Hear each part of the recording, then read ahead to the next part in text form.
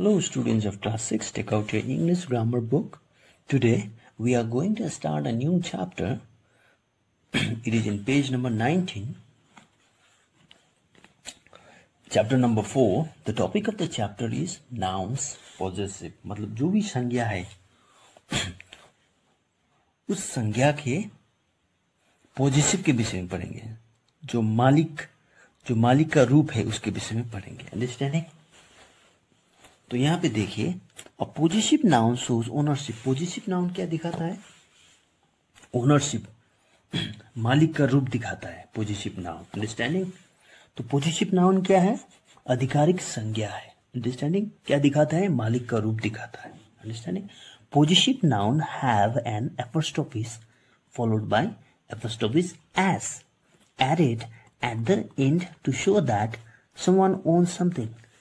मतलब जो भी नाउन है, उस नाउन को पोजिटिव नाउन बनाने के लिए हमें एफोस्टोपी एज उस वर्ड के अंत में जोड़कर हम पॉजिटिव नाउन बनाते हैं। ठीक है? अगर वो पॉजिटिव नाउन क्या दिखाता है? हकदार दिखाता है, हकदार। मतलब वो चीज़ का हक उस आदमी को है। Okay?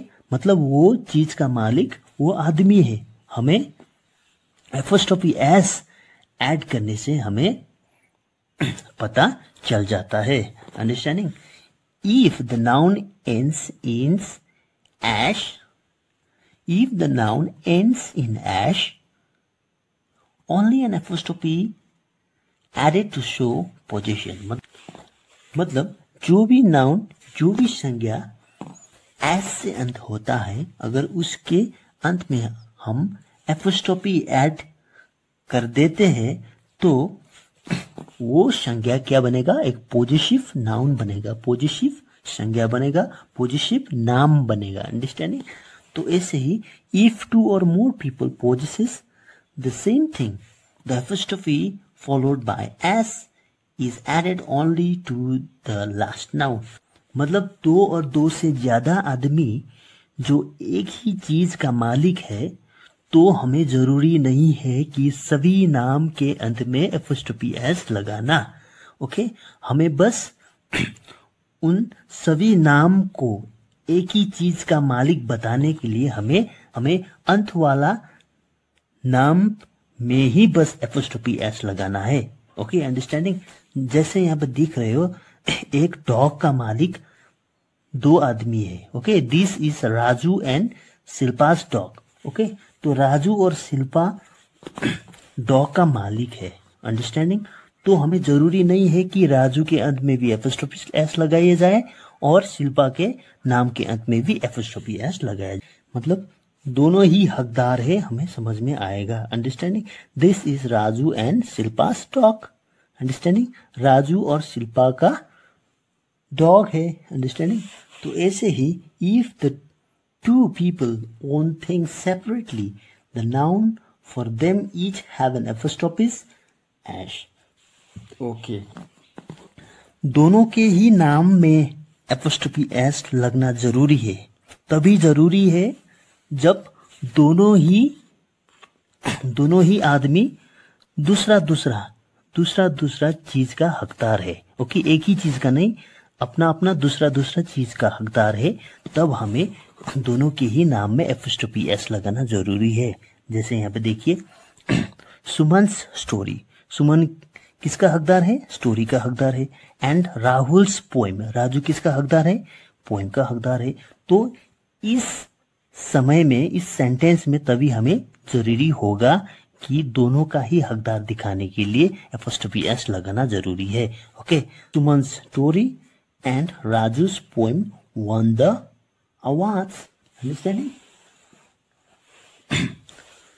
for compound noun, only the last word has the apostrophe ash.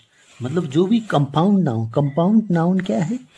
जो एक, दो से ज़्यादा शब्द जोड़ के बना हुआ है, एक शब्द तो उसे कहते हैं कंपाउंड नाउन ओके जैसे हुआ सिस्टर इन लॉ क्या है? कंपाउंड नाउन है. Understanding my sister in law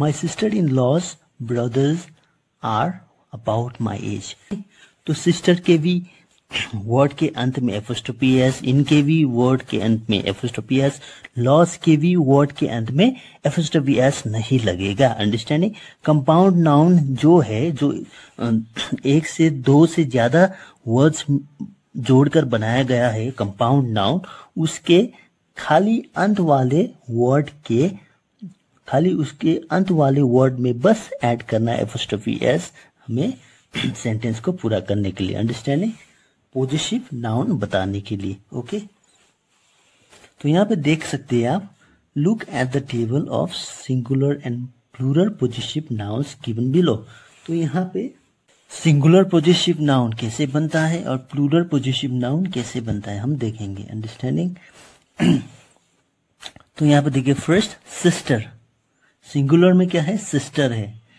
Sisters apostrophe S okay sisters child जो यहाँ देख रहे चाइल्ड के अंत में डी और एस के बीच में जो कॉमा है ओके कॉमा है, उसे पता चलता है हमें ये सिंगुलर पॉजिटिव है ओके गूज ई और एस के बीच में जो एफिस्टोफी है उसको देखकर हमें पता चल जाता है कि ये ये क्या है? सिंगुलर नाउन मतलब एफोस्टोफिस क्या है?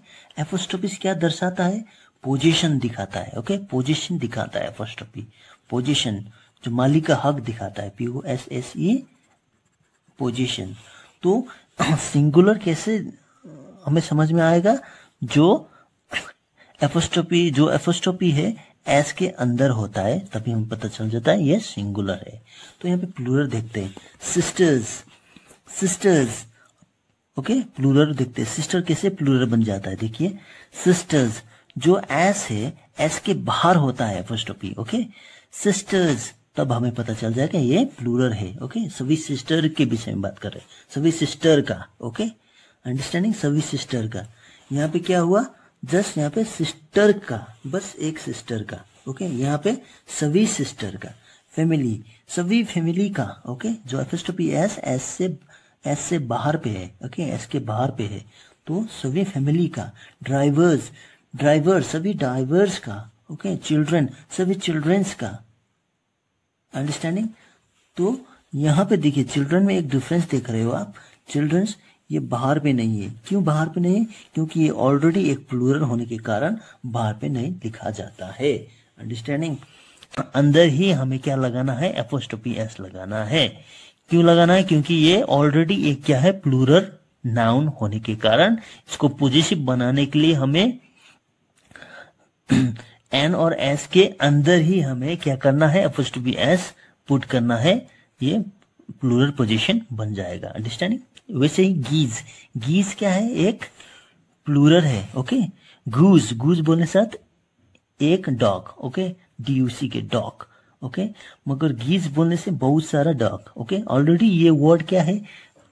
अपने आप ये प्लूरल है। प्लूरल होने के कारण हमें ज़रूरी नहीं है कि एस के बाहर हमें एपोस्ट्रोफी एस लगाना है ओके गीस मतलब अपने आप प्लूरल होने के कारण हमें सभी गीस का, हमें सभी गीस का okay S apostrophe S S के भीतर लगाना पड़ेगा। अंडरस्टैंडिंग सभी गीस का बताने के लिए। अंडरस्टैंडिंग तो ऐसे ही यहाँ पे एक्सरसाइज देखते हैं।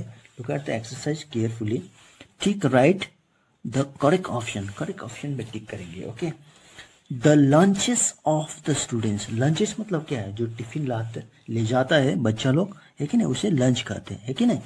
The lunches of the students को बताने के लिए कौन सा सिलेक्शन अच्छा होगा?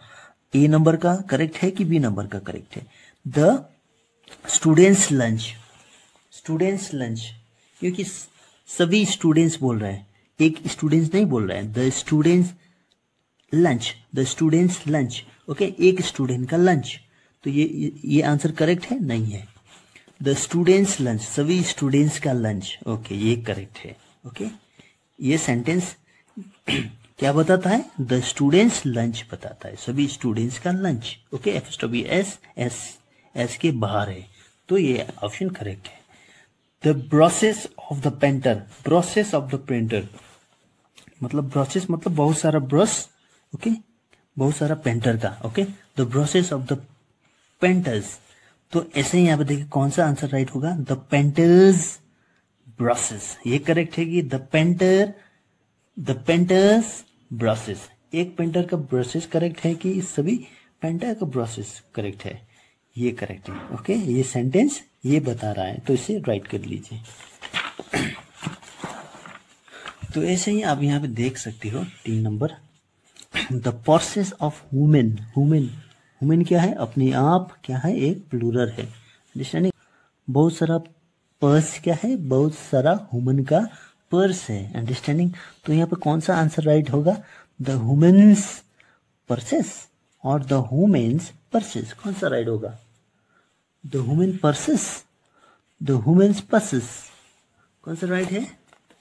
ओके आंसर कौन सा राइट है this is the correct answer okay the women's okay the women's process ये पॉजिटिव बता रहा है okay this is showing positive okay so ऐसे ही यहाँ पे देखिए four number the mop of the maids the mops of the maids तो कौन सा आंसर राइट है? द मेड्स मोप्स और द मेज मोप्स एक मेज का मोप्स है कि बहुत सारा मेज का मोप्स है। तो आंसर क्या होगा? ए नंबर करेक्ट ओके ये वाला करेक्ट द मेज मोप्स ओके मोप्स मतलब समझ गए? मोप क्या है? पोछा लगाना. ओके अंडरस्टैंडिंग द मेज मोप्स तो ऐसे ही आपको मैं होमवर्क दूँगा। अभी इतना ही करते, कल देंगे हम आप लोगों को homework okay Okay, thank you.